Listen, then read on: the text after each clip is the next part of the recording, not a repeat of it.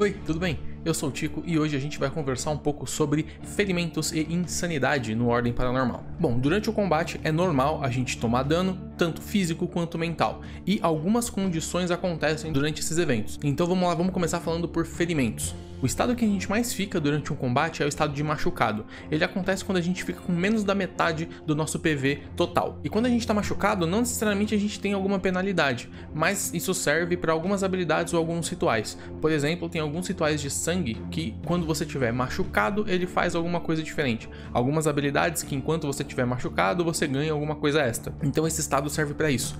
Quando você fica machucado, quando você fica com metade do seu HP ou menos, você fica machucado. A gente tem também o estado morrendo. O morrendo é quando você chega a zero de PV. Então, se você chegar a zero, você cai no chão inconsciente e começa o seu estágio de morrendo. E você tem três turnos para ser salvo. Se você começar o seu terceiro turno em morrendo, você morre de vez. E lembrando que você está inconsciente e morrendo, são dois estágios diferentes. Para você tirar a condição de inconsciente, você tem que ser curado em pelo menos um PV. Então, se alguém executar, por exemplo, uma cicatrização e te curar pelo menos um de PV, você sai do estágio inconsciente, mas você continua com o estado morrendo. Para você ser tirado dessa condição de morrendo, alguém precisa passar num teste de medicina, que a DT é 20, ou em alguns eventos específicos, algumas habilidades ou rituais específicos que conseguem tirar a pessoa de morrendo. A gente tem também outra coisa chamada dano massivo. Isso acontece quando você toma metade dos seus pontos de vida de uma vez só, em um golpe. Então, por exemplo, você tem 20 de HP e em um golpe o monstro te deu 11 de dano. Isso significa que você tomou um dano massivo.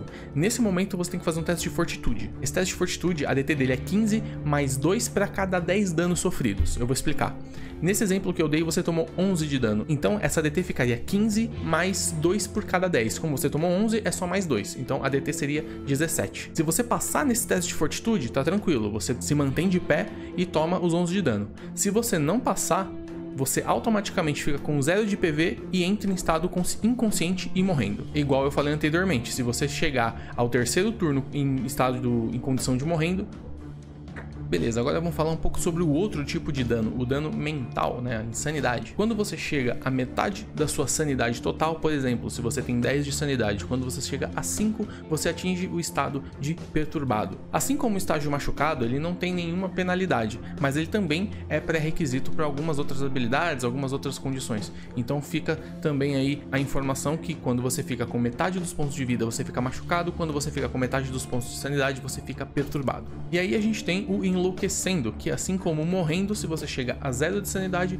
você entra em estágio de enlouquecimento. E se você iniciar o seu terceiro turno na mesma cena, não necessariamente consecutivo, enlouquecendo, você fica totalmente insano de vez. Exemplo, no começo do combate você viu a criatura, tomou um dano de sanidade e ficou com zero alguém foi lá e te salvou. Eu já vou explicar como é que salva. E aí essa criatura dá dano mental, e aí você vai e fica enlouquecido novamente lá pra frente no meio da, do combate. Alguém vai e te salva de novo. Se isso acontecer a terceira vez, você iniciar o seu terceiro turno enlouquecido, fica louco permanentemente. E como que se cura uma pessoa, como que tira uma pessoa do estado de enlouquecendo? É um teste DT20 também, só que dessa vez é de diplomacia. Se a pessoa que estiver ajudando a outra a sair da, do enlouquecimento passar no teste de diplomacia 20, a pessoa que está enlouquecendo recupera 1 de sanidade e consegue se estabilizar. E falando um pouco de, de, sanidade, é bom a gente salientar que existe perda permanente de sanidade, tá? Eu expliquei mais no vídeo de rituais, mas quando você conjura um ritual, você tem uma chance de perder pontos permanentemente